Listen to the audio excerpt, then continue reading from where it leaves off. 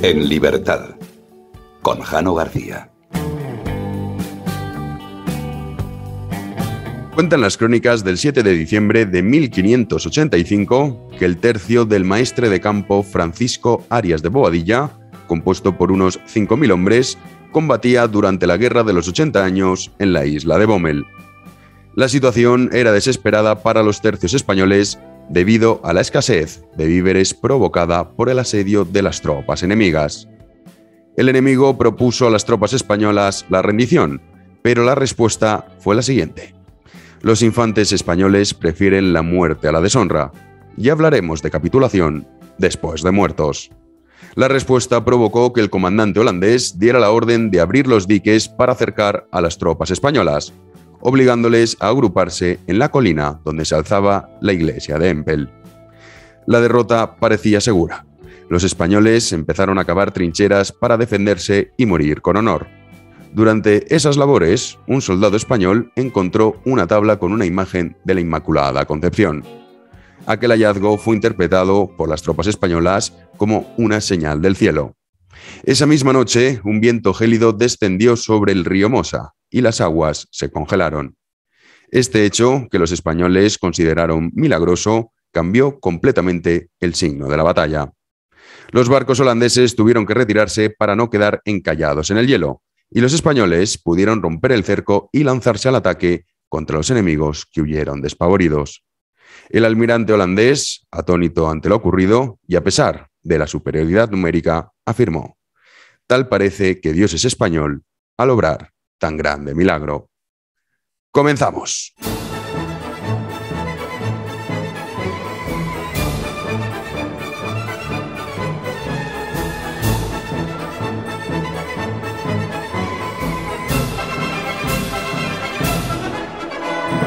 Y de vuelta al presente, hoy 19 de junio de 2022, para concluir la temporada en libertad, estará con nosotros don Federico Jiménez Los Santos, un invitado que habían pedido en numerosas ocasiones y que por supuesto queríamos traer al podcast, pero que lo habíamos reservado para el último episodio de la tercera temporada en libertad.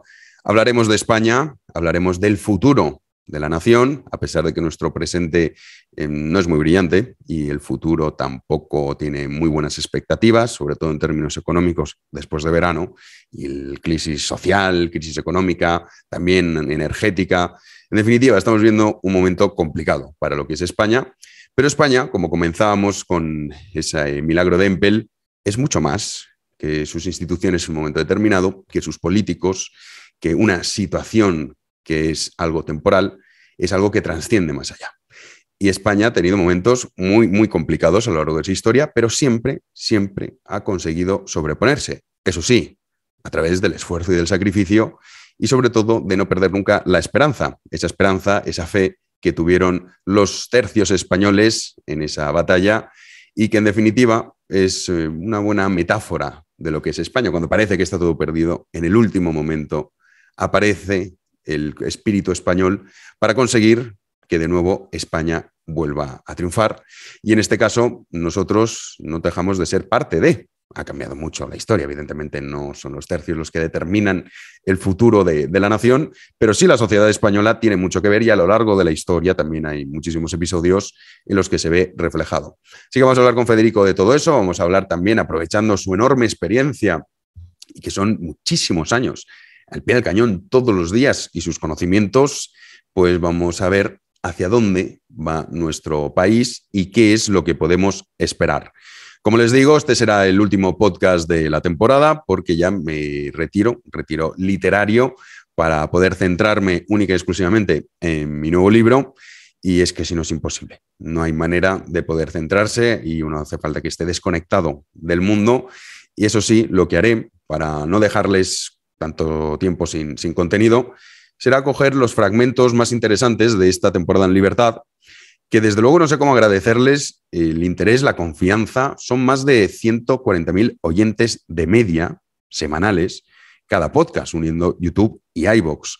Y esto desde luego que cuando comenzó esta aventura, que fue en octubre de 2019, fue cuando empezamos a, realizar los podcasts, En ningún momento, en ningún momento eh, pensé que iba a tener tanta repercusión, teniendo en cuenta el contenido que tratamos, teniendo en cuenta que no es entretenimiento, ni show, ni chismorreo, sino que hablamos de cosas eh, profundas y que realmente eh, son dos horas de podcast, a veces hora y media, otras veces menos, y es algo que no es habitual cuando la mayoría son vídeos cortos y vivimos en esa sociedad cortoplacista.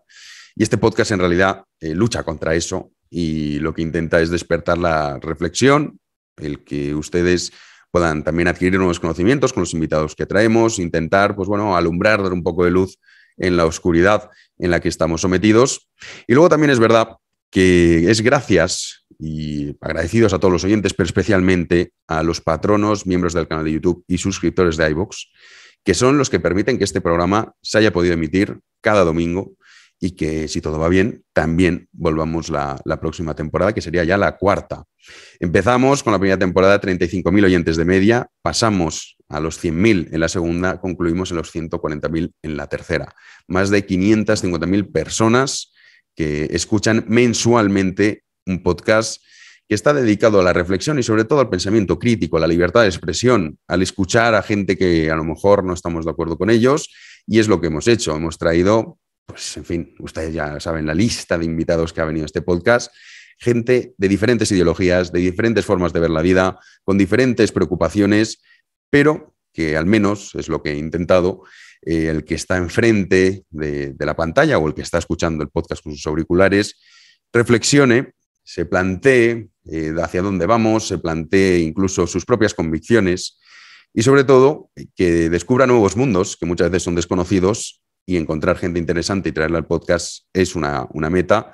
Y por eso también, entre otras cosas, hoy está Federico Jiménez Los Santos con nosotros, porque cumple a la perfección ese papel. Eso sí, durante mi ausencia, sí que habrá podcast exclusivo. Voy a dejar en, los comentarios tanto el enlace para Patreon como para miembros del canal de YouTube, como suscriptores de iVoox, por si ustedes no solo quieren colaborar ni formar parte de, esa comunidad que permite que este podcast eh, vea la luz y que en definitiva eh, pues yo sea independiente, pueda deberme solamente, única y exclusivamente, aunque les moleste a muchos, y eso es realmente lo que detesta tanta gente, que solo me debo a ellos, lectores y oyentes, que son los que me permiten poder dedicarme a esto, decir lo que me dé la gana, cuando me dé la gana y como me dé la gana. Y eso es algo que en este país eh, se penaliza mucho y que no soporta la mediocridad y la indigencia intelectual. Pero bueno, si quieren formar parte de, esa comunidad y también poder tener acceso a todos los podcasts exclusivos hasta la fecha, no solo los que habrá en julio y en agosto, pues lo pueden hacer en los enlaces que les voy a dejar en los comentarios. Hemos abordado temas, el último, el miércoles pasado, el último podcast exclusivo, el del mes de junio, es la historia criminal del comunismo, con Fernando Díaz Villanueva como invitado. Hemos abordado el franquismo, hemos abordado el fascismo, hemos abordado la historia de Israel. Hemos también abordado la figura de Madame Mao, eh, la historia de China, la construcción de un imperio, tres episodios fascinantes. Hemos también hablado de Rodolfo de Habsburgo esa historia de amor, cómo cambió la historia, cómo eh, los sentimientos amorosos, en este caso, también juegan un papel fundamental en el devenir de la historia. Hemos hablado de Pol Pot, el mayor genocida de la historia. Hemos hablado de, Mao, por supuesto, en el último podcast también, de Stalin, de Lenin. En fin, no sé, me dejo Bobby Fischer, el genio del ajedrez, también hemos hablado de él. Y me dejo algunos, seguro, porque son varios los, los podcasts exclusivos y también lo habrá en julio y agosto. Así que si desean colaborar, si desean que este podcast siga y pueda continuar en una próxima temporada, les dejo los enlaces y por supuesto tendrán el mes de julio y agosto su podcast exclusivo, eso siempre, porque yo tengo muy claro quién me debo, tengo muy claro quiénes son mis jefes y mis jefes son ustedes, oyentes y lectores que permiten que yo pueda decir, traer y hacer lo que me dé la gana sin tener que dar explicaciones y sobre todo sin tener que pedir permiso. Y eso hay gente que lo lleva muy mal. Vamos a dejar una pequeña pausa para que dejen su último like y comentario de esta temporada y ya vamos con la entrevista a don Federico Jiménez Los Santos.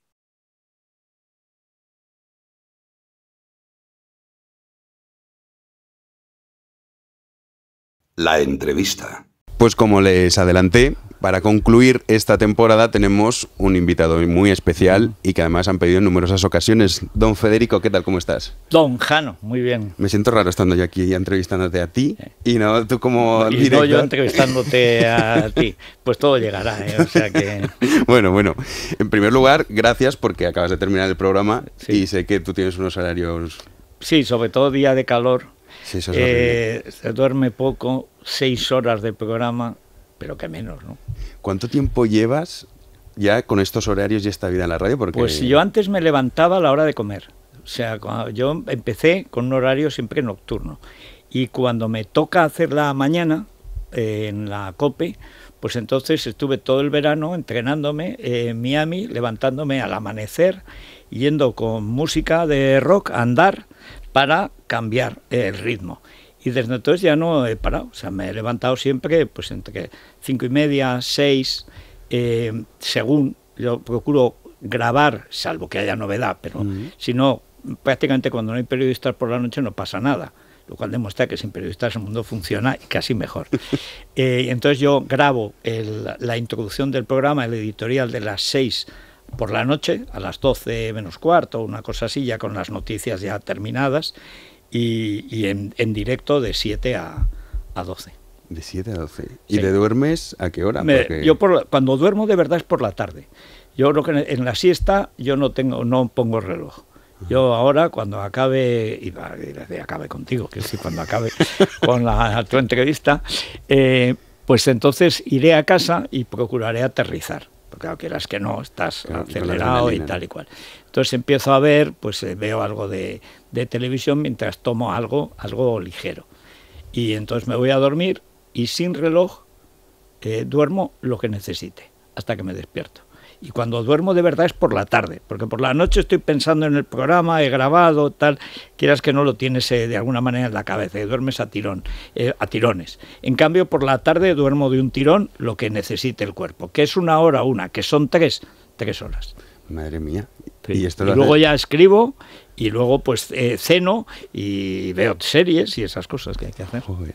¿Y esto llevas haciéndolo cuántos años? Porque con Pues, la eh, mañana... pues eh, yo empiezo a hacer la linterna, a dirigirla y a presentarla en 98, cuando muere eh, Antonio, o sea que llevo pues un cuarto de siglo. Y escribiendo en los periódicos este año hace 40 años. Qué barbaridad. 40 años que empecé como jefe de opinión de Diario 16 y columnista. Yo estaba de profesor de literatura en el Lope de Vega de Madrid. Me convenció, no sé muy bien por qué.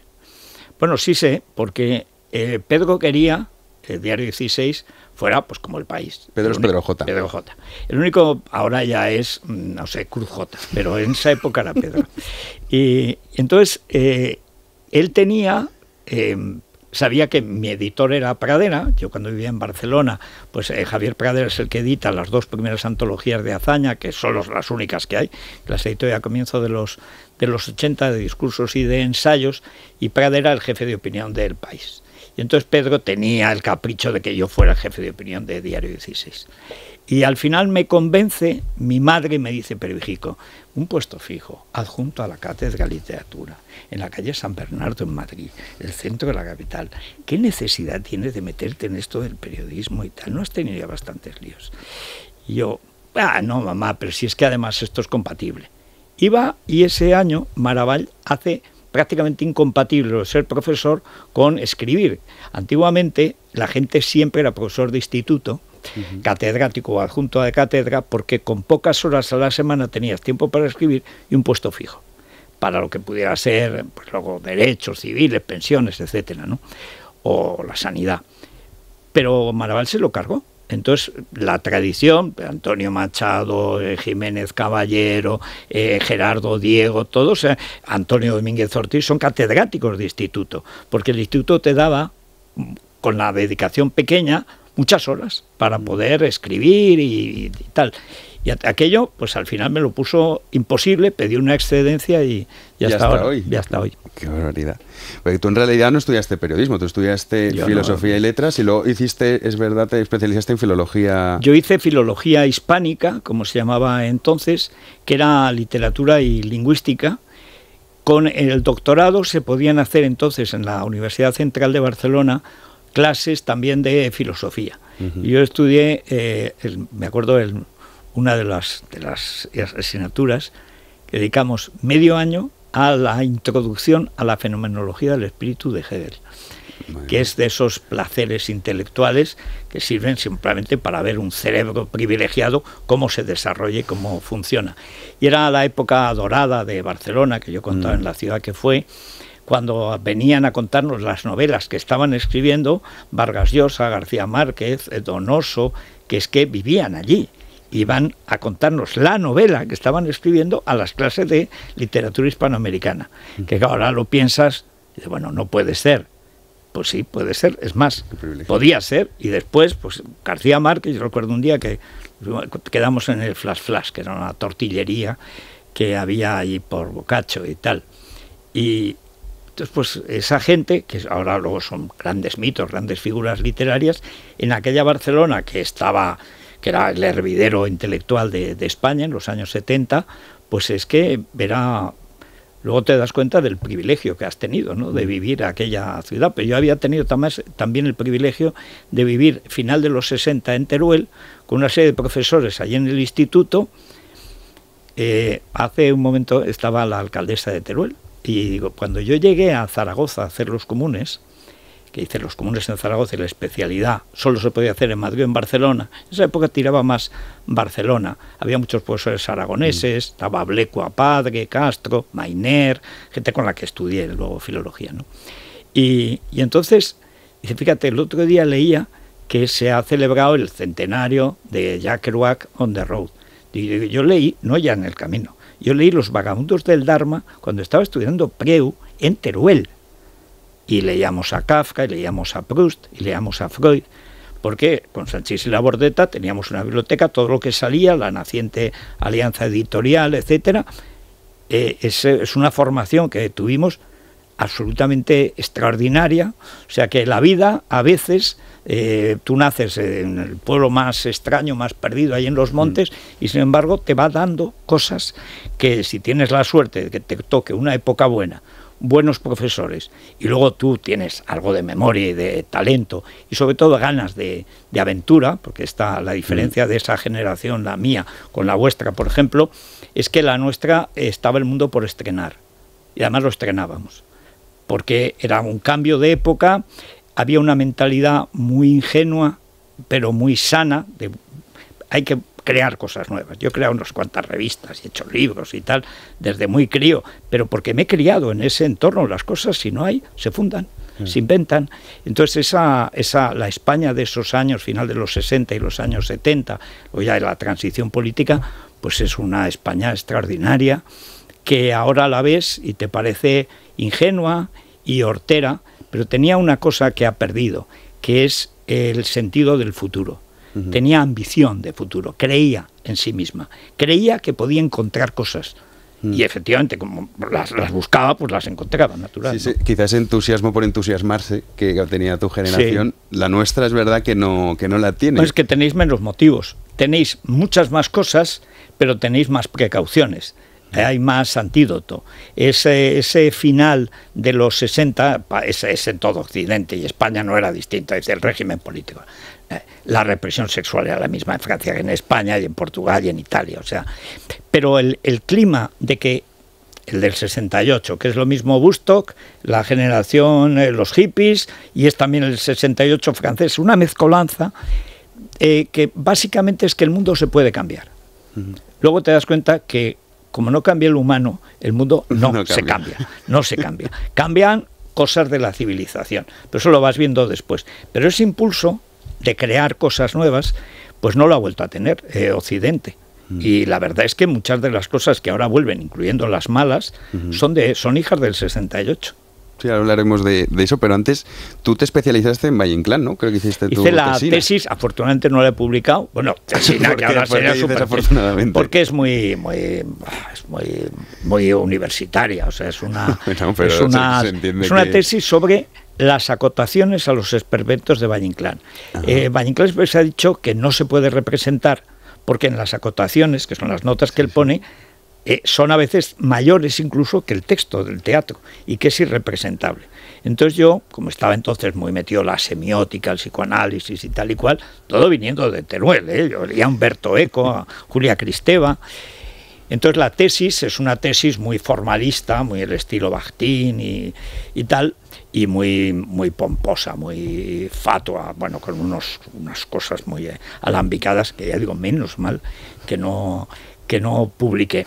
Pero, pero es, digamos, fruto de la época. era también una época, en ese sentido, muy aventurera. Yo recuerdo que cuando presento, la, me dieron el sobresaliente por unanimidad, tal y cual, y entonces yo pensaba, bueno, ¿y ahora de qué voy a vivir? Porque claro, tengo que trabajar. Entonces fui a ver a, a Blecua y digo, bueno, eh, ¿cómo hablaba Federico, tal? digo, pues mire, vengo porque le había mandado una carta. Digo, sí, a mí me gustaría, si puedo trabajar en la universidad, con usted en el departamento, pues me encantaría, tal, ¿vale? Eh, ya que tengo aprobada la tesis, los cursos de doctorado, tal. Y entonces me dice, pues es que este año no te puedo dar nada, el año que viene sí, pero es que este año no tengo presupuesto para nada. Pues es que me han ofrecido una cosa en un instituto piloto. Dice, hombre, yo el año que viene me encantaría que llegaras aquí. Pues, pues no lo sé, no lo sé, porque yo lo que quería era coger una casa, irme a vivir con mi novia y tal. Y cogí el instituto piloto, es que había trabajo. Tú acababas una carrera. Y tenías opciones. Tenías opciones, eh, te venían a buscar. Ahora eso parece imposible. imposible. No, pues hubo una España de pleno empleo también en la universidad. Por supuesto, yo hice unas oposiciones solo, para plaza fijana, pero ya lleva años dando clase. Y la verdad, eh, lo que recuerdo de, he estado 10 años de profesor en total, es una, la única cosa que tengo claro es que los padres tienen que estar a una distancia no menor de 10 kilómetros del centro donde estudian sus hijos, sobre todo si son hijas. Yo tenía aquí en el, en el Lope de Vega, que es el mejor que, instituto que yo, que yo he tenido, eh, estaba clase de preu, chicas de 17, 18 años, más mujeronas tremendas, y papás, muy papás de la artista. Y entonces eso venía, es que mi niña es de sobresaliente, pues su niña yo le da un 8, ese con un canto en los dientes y que no lo eche del despacho. Porque esta cosa eh, de que es que mi hijo, los padres tienen que respetar la autonomía del profesor y el profesor tiene que tener la responsabilidad de seducir al alumno convertirlo en amigo, amante, que le guste tu asignatura. Y si le gusta tu asignatura, le estudiará. Y si no, no le estudiará. Yo como he nacido casi en una tiza, porque mi madre era maestra, me crió en la escuela, yo siempre he sabido que todo depende en la enseñanza de que tú creas que tienes algo que transmitir. Y si tú te lo crees, funciona. Y si no, no funciona. Y el gran problema de la cultura ahora es que los profesores han dejado de ser profesores. No creen en su función. Yo, afortunadamente, pertenezco a una época que creía. de hecho, ya no se dice maestro, se dice profesores. Mal hecho, porque un maestro es la cosa más noble que, hay, maestro, o sea, el magíster, es el, maestro en general, pero que te transmite cosas. ¿Y que él es maestro? Y solo puede ser maestro, no puede ser colega.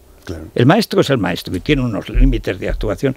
Eso yo se lo agradecí mucho siempre a, Pepe Sánchez, a, a La Bordeta y tal, que siendo amigos, nunca se rompió la barrera generacional. Eh, amigos, profesor, alumno, nunca colegas. Uno sabía más y tenía que ayudar al otro a saber más. Ese sentido básico de la enseñanza, por desgracia, se ha perdido. Y en realidad eso es una, no deja de ser como el digamos, la forma natural que tiene el ser humano de transmitir de generación en generación los conocimientos previamente adquiridos. ¿Y la, la obligación moral que ahora como vivimos en una época que parece que lo antiguo es como que no vale para nada, que incluso nos reímos de épocas pasadas, lo miramos con una soberbia moral y una... ¿No crees que...? Bueno, porque se cree, eso es la estupidez actual, el adanismo que se ve también en muchos políticos que creen que acaban de descubrir, bueno, los taraos estos de Podemos diciendo que se ha equiparado el salario del hombre y la mujer en el, en el año 81, por ley, un ministro de la derecha de UCD, Calvo Ortega, que llamaban el Panda, lo hizo, está en, en la ley en el primer gobierno de UCD de derechas. O sea, pero eh, que lo, lo, dice taxativamente, no puede haber ninguna discriminación por razón de sexo. Ahora, es cuando han introducido una discriminación de sexo que se ha cargado el Estado de Derecho con la maldita ley de violencia de género y todo lo que le cuelga a la trans, el sí es sí y no también, etcétera, ¿no? Pero, pero hay una hay una cuestión en esta, en esta época. El otro día Sánchez Tortosa, que lo entrevistamos aquí, decía, somos eh, entretenedores de jóvenes, ya no somos profesores. Ni ellos vienen a aprender, tanto la vida colgados de un móvil, es otra generación, mm. es otra cultura, es un cambio antropológico y la verdad es que no sabemos a dónde nos va a llevar. Yo creo, sin embargo, que como es tan eh, incomparablemente menor esta cultura básicamente audiovisual, de efectos especiales, de chispas y tal, em, vamos a lo que Verdiaev llamaba la nueva Edad Media, que va a ser nueva en el sentido de devolver a los copistas, a leer, a escribir, aprender latín, aprender español, los clásicos. Es decir, que, iremos a, centros de conservación de la cultura occidental. Porque desde luego el, mainstream que hay ahora es de liquidar como sea la cultura occidental. Y hay que preservar como sea la cultura occidental. ¿no? Hablando de Valle Inclán y de esperpento, ¿es España un esperpento? No, no, España tiene de todo. O sea, eh, España afortunadamente, como es prácticamente después de Roma, es la civilización más importante que ha habido. Mm. Entonces tú, si te fijas bien en, lo que son referencias, digamos, arquitectónicas, que es lo más visible de España, España tiene, es el acueducto de Segovia, pues el puente de Alcántara. El puente de Alcántara, esa la arquitectura civil es muchas veces más importante que la militar, que los castillos, ¿no? Entonces tú ves ese puente que es, es perfecto. Dice, ¿cómo es ese puente? No, perfecto, o sea, la armonía, tal, dice, pero es pequeñito y tal, sí, sí, perfecto. Y, ves algunas de las cosas romanas, las calzadas, son milagrosas, o sea, el otro día leía una, un ensayo que hizo Antonio Fontán sobre el sentido de los clásicos. Decía, ¿qué, qué es lo que tiene de, especial Roma y lo que tiene Grecia? Grecia lo inventa todo. Es decir, realmente en Grecia nace la filosofía, nace el teatro, nace el, ensayo, nace la lírica y la épica diferenciadas. Eh, todo nace en Grecia. Y solo hay una civilización que se da cuenta de la importancia de Grecia, que es la civilización romana, que se considera en la obligación de continuar. La, civilización romana, que es la española, tiene la obligación de continuar la tradición de Grecia y por nuestra parte de Roma. Y toda la historia de España es mantener ese legado de civilización por todos los eh, medios, por la cultura, por la religión, por las armas, por todo. Es decir, por, por el comercio, pero sobre todo mentalmente. Es decir, nosotros no venimos del huevo, nosotros venimos de Grecia y de Roma. Nosotros somos hijos de, Aristóteles y somos hijos de Julio César y somos hijos de Recaredo y somos hijos de alguien. Es decir, tenemos unas obligaciones porque hemos recibido un legado. Y nuestra obligación es transmitir ese legado mejorado. Imitado, es clásico, es lo digno de imitación. Los romanos no es que copiaran, glosaban, hacían versiones, imitaban, imitar no es copiar, es hacer tu versión pues de una tragedia de lo que sea, ¿no? Como hacen los romanos. Los españoles hemos hecho eso también con Grecia y con Roma. El problema es que en el siglo XX nos perdimos la pista. En el siglo XX España pierde la pista de lo que es España con grandes escritores como los de 98 con la cabeza absolutamente vacía, y luego la generación del 14, también mucha educación, pero poquito caletre, con Ortega, con Azaña y tal, que son...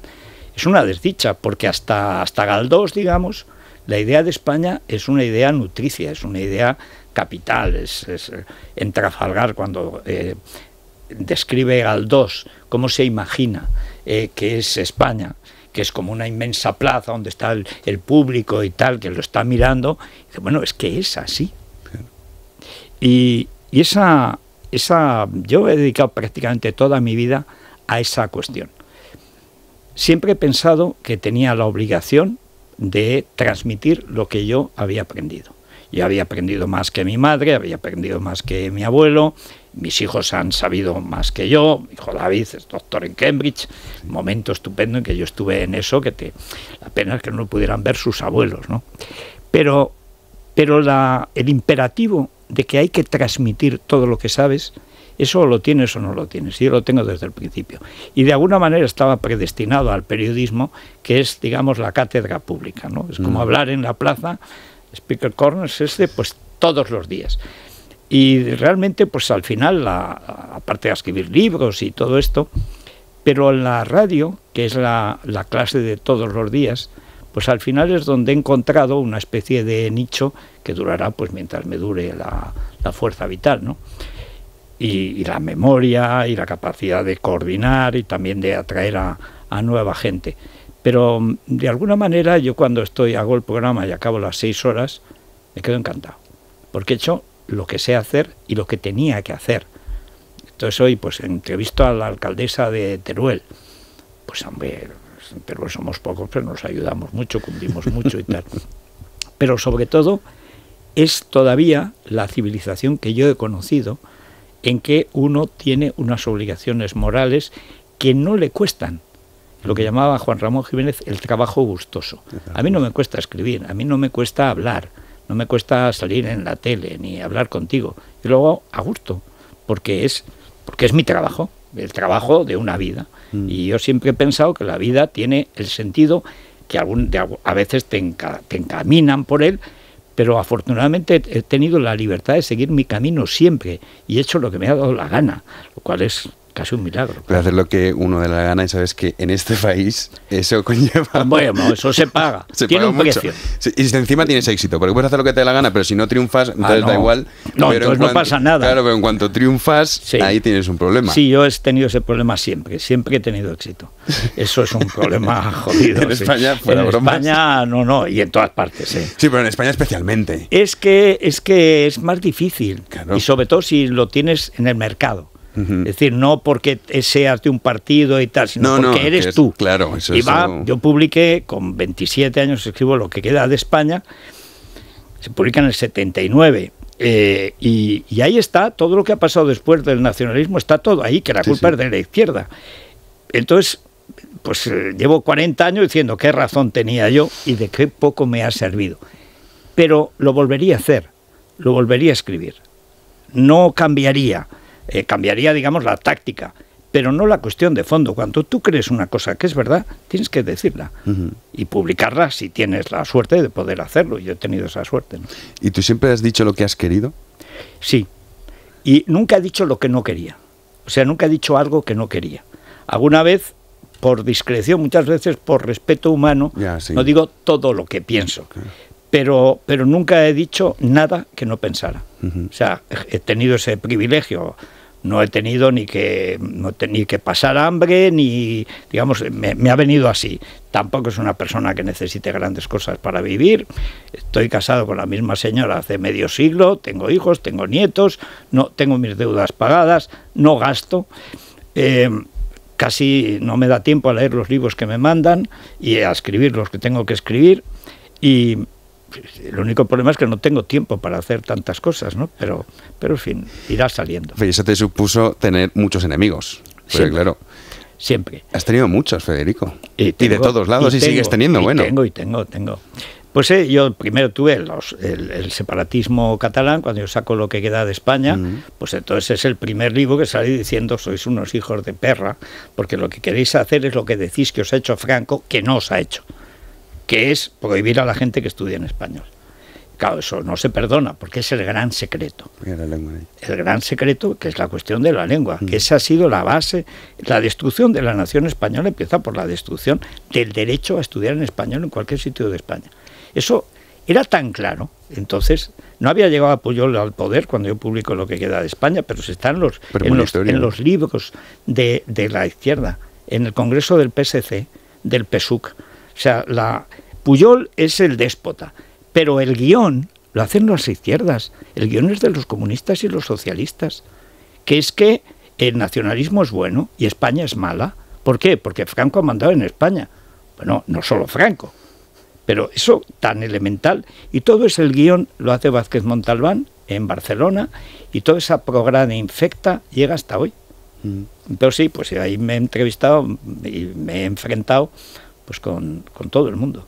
Tuviste enemigos en Cataluña y tuviste, bueno, incluso te llegaron a secuestrar, Terra Lliure. Sí, bueno, y me pegaron un tiro en la rodilla y salvé la vida de milagro, porque esa noche iba con en el 81, ¿no? En el 81. Eh, había salido el manifiesto de los 2300 que hace mi amigo Santiago Trancón y yo soy pues de los, los tres primeros firmantes me parece que éramos Amando de Miguel y yo y no sé si el segundo si el tercero era Trancón o tal, bueno, los diez primeros, Cardín era uno de los también. Y entonces, bueno, pues me tocó a mí por lo que fuera, porque había sacado el libro, yo además aparecía en, las, en los periódicos y decía, no queremos ser charnegos agradecidos, yo desprecio a esta gentuza y tal, cosa que hacía y sigo haciendo, parece despreciable. La gente que renuncia a su lengua materna para que el piqué de turno te deje ser Hernández, que esa es la realidad, ese espíritu de que el Barça nos acoge, pero ¿quién quiere el Barça? Pues, pues, pues, pero tú qué te has creído que yo soy inferior por haber nacido en Teruel. El primer conflicto, antes incluso de tal, yo lo tengo un día, yo era patrono de la Fundación Miró en, Barcelona, eh, estuve en la fundación de la primera biblioteca freudiana de Barcelona, con, Cardín, todo el grupo de Masota, que es con los que empezamos a estudiar psicoanálisis, y luego la Fundación Miró, cuando sale, que es precioso el edificio de SERT y tal. Y un día recibo de la fundación una carta que pone Frederic Jiménez, y voy a, un tío que, era el que llevaba entonces la, cosa, digo, oye, ¿qué coño es esto de Frederic? No, hombre, si es un gesto de, afecto, digo, ¿de afecto? De como que de afecto. Yo me llamo Federico, como mi padre, o sea, ¿qué pasa? Que estáis quejándoos del idioma y ya me quieres rebautizar tú a mí. No me vuelvas a mandar un papel, ¿eh? pero ni un puto sobre, ¿eh? No quiero saber nada más de vosotros. ¿Pero qué os habéis creído, mamarrachos? Pues se habían creído que iban a hacer exactamente lo que han hecho. Yo era tan iluso que pensaba que porque tenía razón, pues se podía combatir. La verdad es que no, esa guerra la he perdido, porque ha sido una guerra, y ha habido momentos en que le he dado yo solo. Ahora lo ve todo el mundo, porque ahora ya los desperfectos, el abuso es tan evidente, pero está desde el principio, estaba en el 79, se podía ver, y no se ha evitado, tanto en la izquierda como en la derecha. ¿Y eso no te hace replantearte si tiene sentido? Es decir, el hecho de que a ti te secuestren, que te peguen un tiro, que casi pierdes la vida por defender eso, y luego ves que no ha servido de nada, ¿no te deja como una desesperanza de decir... no, no, si ha servido, ha servido para que yo he dicho libremente lo que tenía que decir. Yo no... Mira, si el otro no se convence, peor para él. O sea, yo voy a seguir leyendo el romancero y puedo leer el mío Cid, y esta mañana, como recitaba el romance del conde Arnaldos, de la mañana de San Juan. Es decir, yo soy de esa España leída y escrita. Mm. A mí eso no me lo quita nadie. Pero la libertad de decir lo que quiero decir, eso es más importante que las consecuencias. Que luego la gente no se da cuenta de que hubiera sido mejor hacer un esfuerzo menor entonces que ahora, que es un esfuerzo ímprobo, ya veremos si se llega a hacer, bueno, pero eso no es culpa mía. Como decía el clásico, yo he hecho lo que he podido, fortuna lo que ha querido. Pues eso, ¿no? Y sobre la cuestión de, hablando de España, el futuro que tiene España, ¿cómo ves esta situación en que es verdad que vivimos una situación económica terrible, social? Hablabas de los medios de comunicación también. ¿Tú crees que España de esta puede salir en el sentido, no España como país, que siempre, sino las instituciones españolas que tienen un nivel de degradación que yo personalmente, soy mucho más joven, pues yo no había conocido nunca? Y que incluso con Zapatero dices, era, la situación era complicada, sí, pero veníamos de una época muy buena. Es que ahora venimos de una época que ya es mala y todavía nos viene lo peor. La verdad es que es, es muy difícil saber lo que va a pasar, ¿no? Porque fíjate, en poco tiempo fue sacar a Franco de la tumba y hemos tenido eh, todo, la pandemia, Filomena, toda clase de catástrofes, la Calima, Pedro Sánchez, o sea, no, hay, hay muertos que no se deben tocar, porque luego pasa lo que pasa, o sea... Eh, Howard Carter murieron todos. La tumba de Tutankamón estaba muy bien cerrada. La tumba, Franco estaba bien enterrado. No era ahí donde él quería. Da igual, déjalo estar, déjalo los muertos en paz, porque es media España que había muerto luchando contra la otra media. Déjalo en paz. Bueno, cuando no se respetan los muertos, no se respetan las instituciones. La primera institución que hay en toda civilización es el respeto al muerto, es enterrar al muerto, rendirle culto al muerto o respeto. Punto. Si tú partes de romper eso, es que todas las demás, hombre, de la fosa al jefe del bando nacional en la guerra civil, que quiso la izquierda y ganó la derecha, de milagro, pero la ganó, bueno, no respetas nada. ¿Qué es lo que está pasando? ¿Quiénes están eh, al lado de la fosa de Franco cuando se produce la profanación con, con permiso de la iglesia de este papa montonero y asqueroso? ¿Quiénes están? Están Dolores Delgado y Félix Bolaños. Es decir, la degradación de las instituciones. Una presidencia del gobierno dirigida por un puñetero zumbao, delincuente, que solo un psicópata, narcisista, enfermizo, que por supuesto Bolaños, que sí que es una persona de nivel, pero que es del PSOE, no puede controlar ni controlará jamás. Y luego una mujer de fortuna, la novia del abogado del narco, el, juez más corrupto de la historia de España, expulsado por prevaricación y que es el verdadero amo de la justicia en España. Es el bufete de Garzón. Ese es el dueño. Eso es lo más grave. Pero sin embargo, tú bajas de nivel y te encuentras con jueces y con fiscales que te hacen unas resoluciones perfectas, aunque le lleven la contraria a la gente, etcétera. Es decir, hay una parte en la sociedad española que yo creo que corresponde pues al cristiano viejo, es decir, ese sentido democrático, igualitario que está que vemos en la escuela de Salamanca, que es muy de muy de la de la cultura católica profunda. Nadie es más que nadie, somos todos hijos de Dios, hay, hay, derechos sagrados, porque como estamos hechos a imagen y semejanza de Dios, no podemos ser esclavos, no nos pueden callar, tenemos derechos inalienables, el derecho natural, pues eso está en España. Y yo creo que yo veo en generaciones nuevas, pues como la, tuya, incluso más jóvenes, que, yo lo veo, por ejemplo, pues en, todo el grupo Libertad Digital. Nos sigue gente jovencísima de muchos países, además.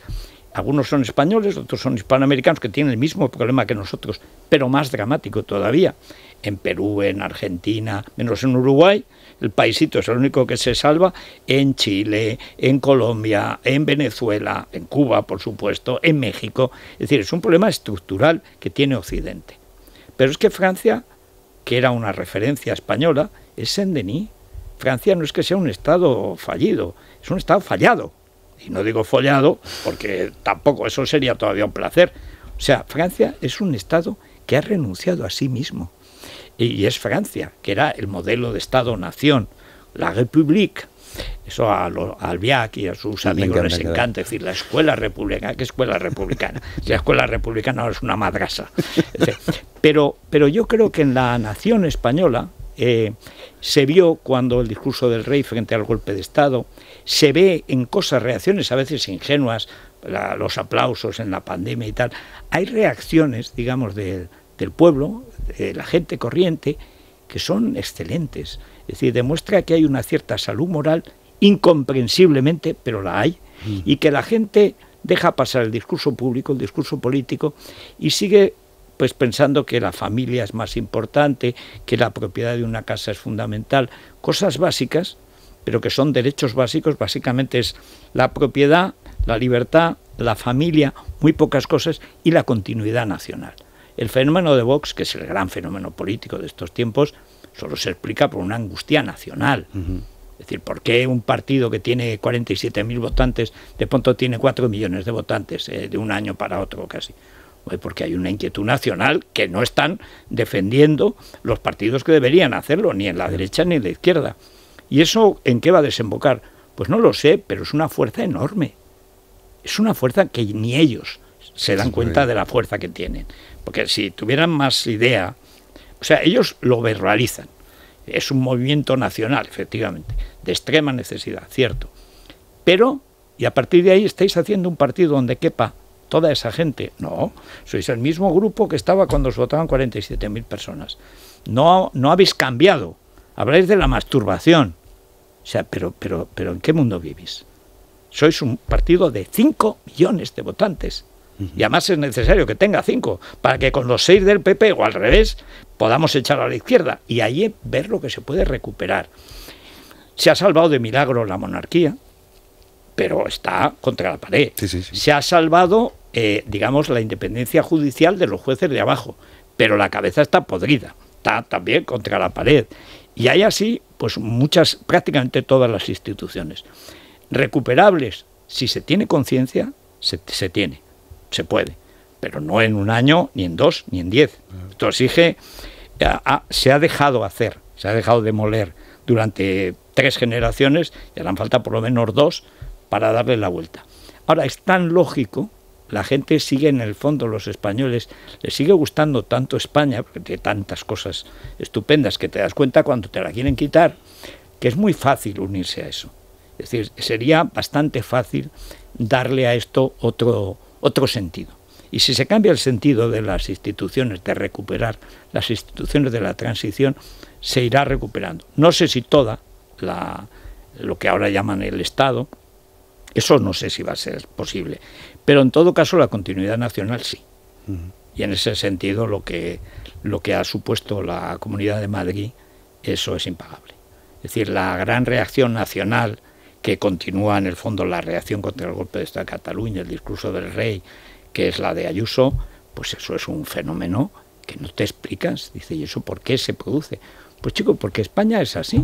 O sea, porque tiene unos resortes extraños, pero vivos y que funcionan.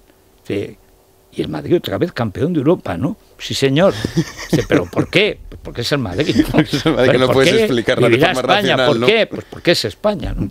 Hablando de, del Partido Popular y que hablabas también de Ayuso, tú has criticado muchísimo al Partido Popular porque precisamente, bueno, Vox también puede ser la reacción a que esa dejación de funciones que antes hacía el Partido Popular hace que surja Vox bueno, que pase de los también 47 ciudadanos, también ciudadanos, en su momento antes, en Cataluña, sí. sí. que la verdad que hizo una labor impagable, eso hay que reconocérselo sí. siempre. Y luego se fueron. Y luego se fueron, sí. Y tú cuando eh, te metías mucho con el Partido Popular, tuviste también muchos disgustos. Hemos Todos, hablado de cuando... A mí me han ido echando de los sitios siempre por el Partido Popular, entre Juan Carlos y, y Rajoy y Aznar, nos han ido echando a Luis Herrero y a mí de todas partes. Ya es casi un deporte. Ahora cuando alguien, no cuando alguien lo van a... ¿A que no? Porque ya tuve que fundar yo mi propia empresa para... Si un día yo me expulso será de acuerdo conmigo mismo, pero en principio no. Eh, pero eh, a mí ahora me vienen, dice, bueno, a ti que te han echado de sí, ¿qué, ¿qué hago? Me, tengo esta situación. Siempre te digo, no te quedes un día más en un sitio donde estés incómodo. Haz algo nuevo, crea algo nuevo, pero no te amargues la vida.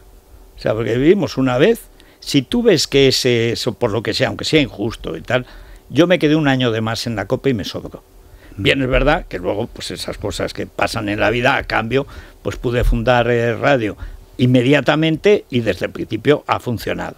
Pero ya tenía el grupo Libertad Digital, que tiene veintitantos años ya, y cuando lo fundo yo es cuando Aznar va a tener la mayoría absoluta. Yo escribo un artículo que se llama Viaje al centro de la nada, que es cuando él funda la Internacional Centrista, en el 99. Era evidente que en el momento en que un partido que se dice liberal se proclama centrista, ha dejado de existir. Es un partido de poder, no es un partido de ideas. Uh -huh. Ha dejado de ser un partido liberal. ¿Por qué? Porque la libertad se acomodará siempre a la consecución o mantenimiento del poder. Y esa ha sido la tragedia del Partido Popular, que ha tenido, sobre todo en la oposición, un discurso político muy poderoso. Había gente ahí como Alejo Vidal Cuadras y tal, que coincidían en torno a Aznar, o coincidíamos, y en los medios y tal, una cosa que ahora es impensable, una época en España de cierto equilibrio, en los periódicos, en las radios. Existía Antena 3 de radio, eh, está Antena 3 de televisión. El otro día, ahora que ha muerto Miriam Romero, mm. veía el telediario que hacían Luis y Miriam, que yo era su comentarista político. ¡Qué maravilla! Qué bien lo hacían, o sea, qué calidad tenía aquello, qué espontaneidad. Ahora son todos bustos parlantes, anorésicas y zumbaos, que están todos con sus lentillas y tal, leyendo lo que les ponen. El teleprompter. Tele Pero bueno, es que aquellos, primero se hacían el guion, y además, como el guion era suyo, pues se podía cambiar sobre la marcha. Y, y, y hacíamos el comentario en directo de la noticia de ese día. No había ni censura ni, ni cosa imaginable. No. Ahora es impensable. Ahora todo está guionizado.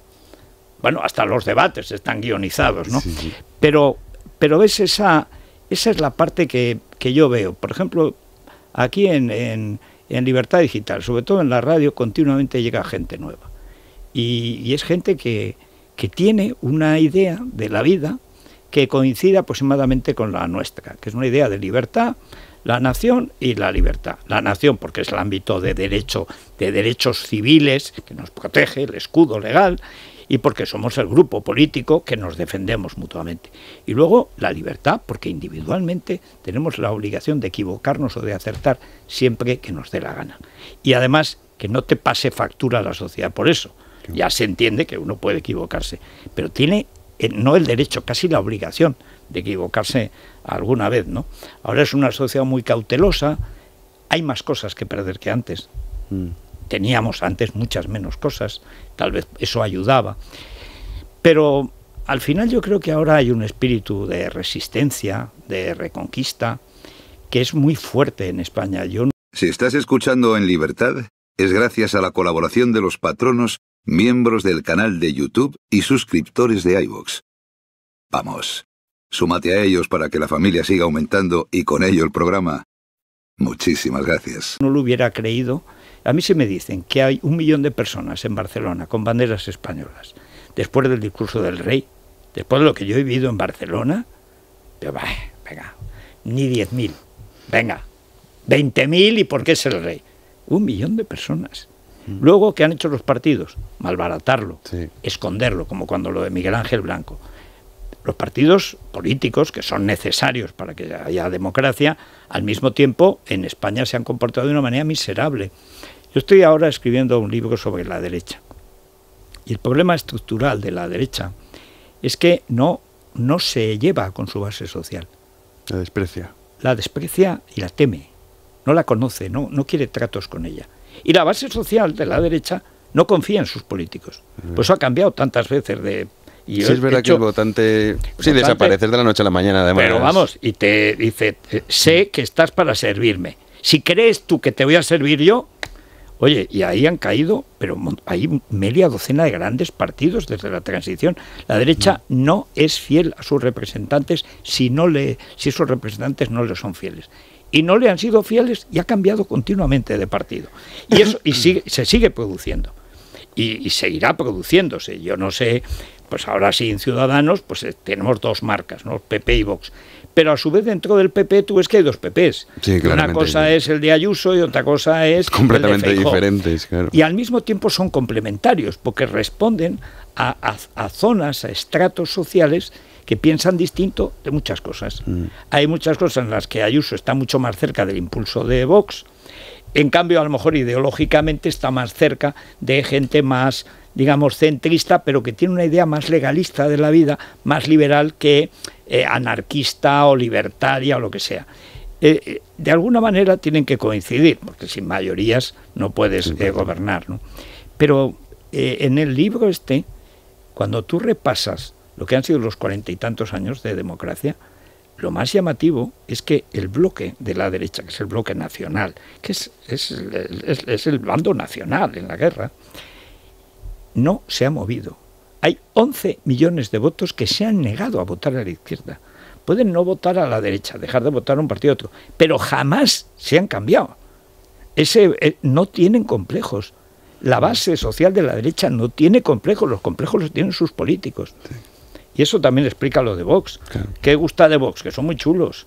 Sí, sí, que dicen las El cosas problema que, es que dicen lo que dicen, piensan. Mm. dicen lo que no dicen los otros, lo que se supone que no se puede decir. Y eso se aprecia. Ahora, luego, además de majeza y de valor, hay que tener talento y saberlo hacer. ¿no? Y están todavía, digamos, en la infancia como partido. ¿no? Mm.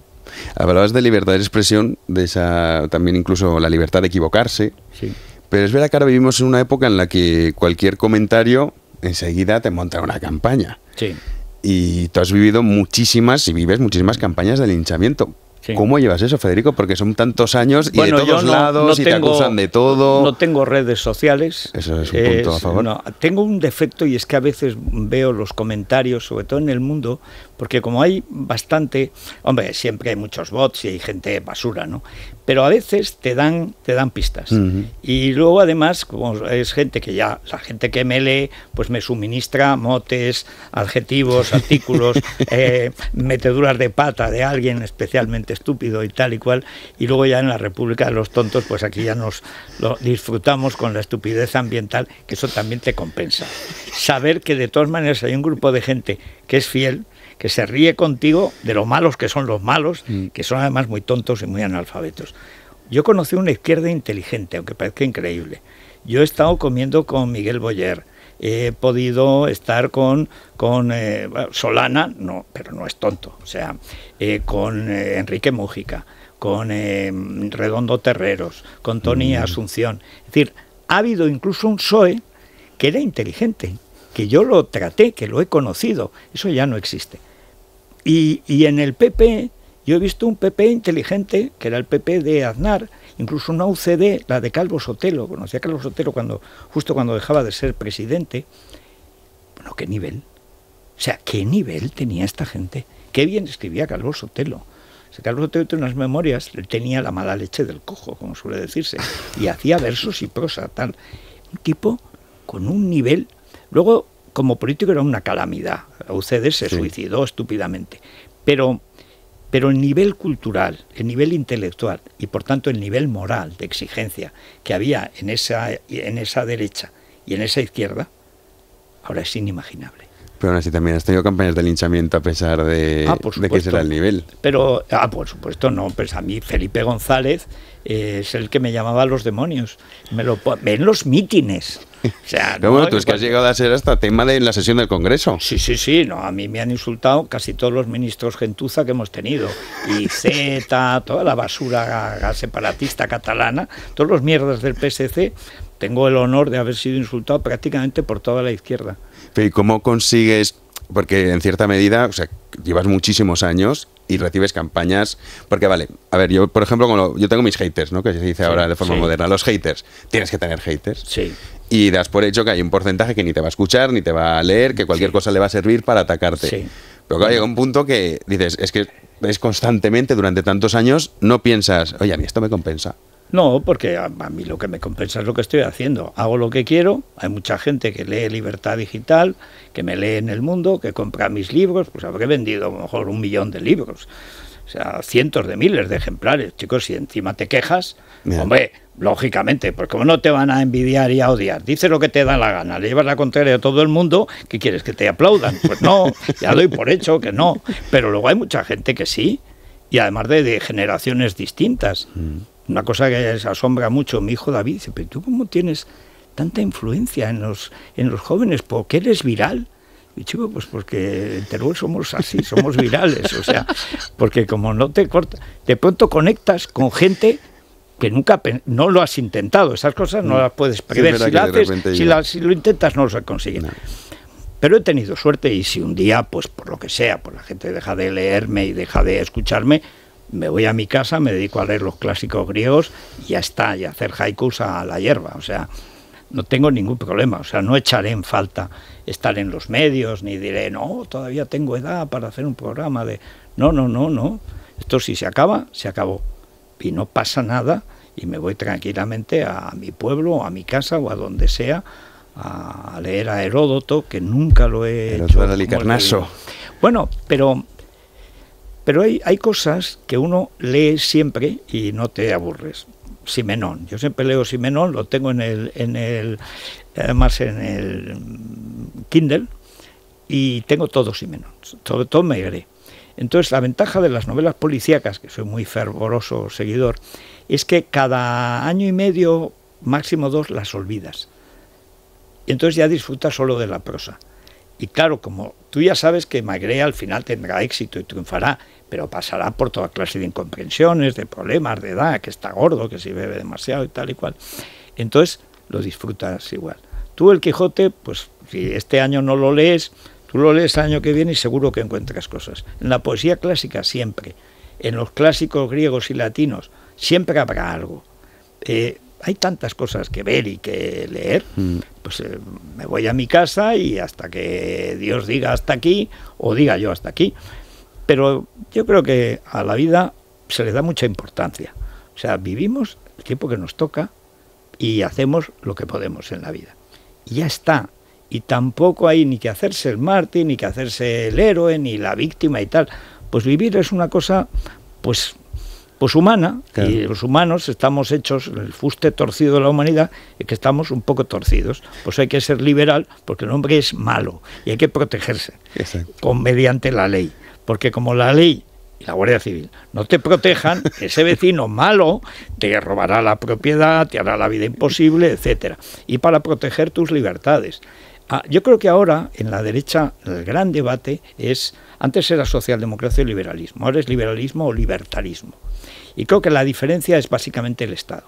El otro día veía una, una rueda de prensa que hizo Milei. A mí me gusta mucho Milei porque es muy rompedor Mm. aunque teóricamente veo más sólido a, a Spert. ¿no?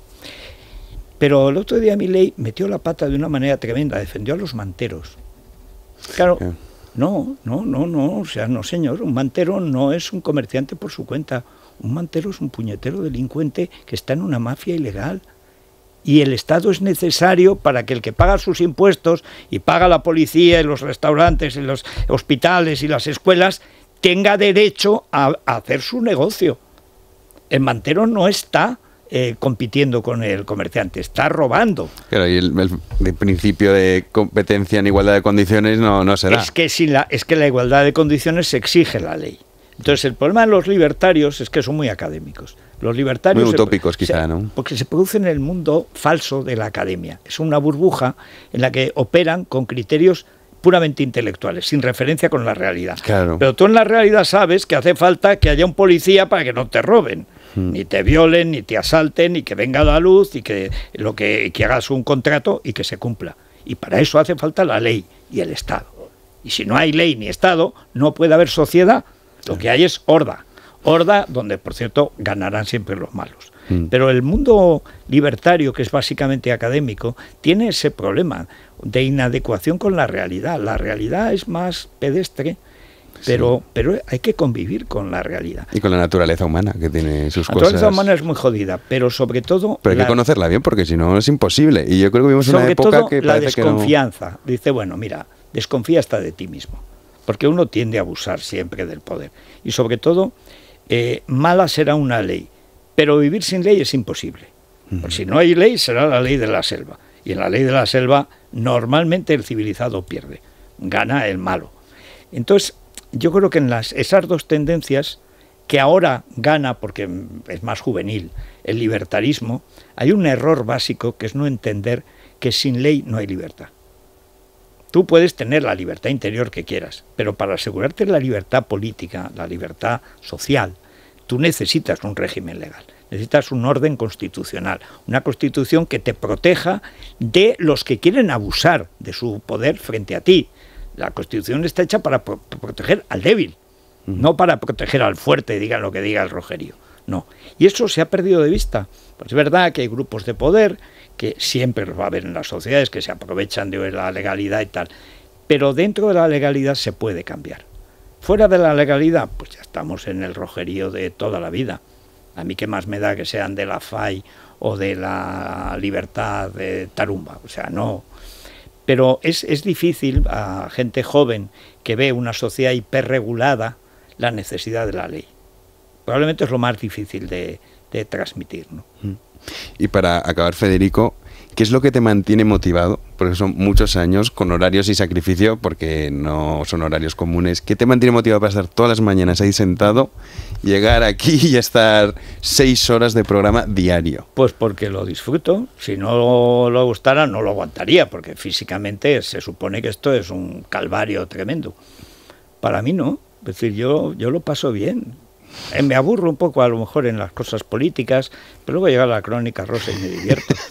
es decir, en la vida hay muchos eh, factores y depende. Si no puedes jugar al ataque, pues juegas a la defensiva y depende.